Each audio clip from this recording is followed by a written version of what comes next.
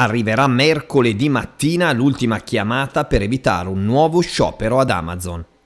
È infatti slittato di un giorno a mercoledì 20 dicembre l'incontro in prefettura tra la dirigenza del Colosso e i rappresentanti dei lavoratori del sito di Castel San Giovanni, ultimo tentativo di conciliazione tra le parti, alle prese con un'avvertenza molto dura sulle condizioni contrattuali e di lavoro all'interno proprio del grande magazzino piacentino. Innanzitutto ringraziamo il prefetto di Piacenza Maurizio Falco per il lavoro che sta facendo in questa avvertenza. Scrivono in una nota le segreterie territoriali di Filcams CGL, Fisascat Cisle, Wiltux e UGL Terziario e abbiamo accettato con senso di responsabilità la richiesta di spostamento dell'incontro arrivata proprio dalla prefettura. Abbiamo chiesto che il confronto si svolga nella primissima mattina per permetterci di riferire ai lavoratori gli esiti di questo tavolo istituzionale nelle assemblee che erano già state programmate.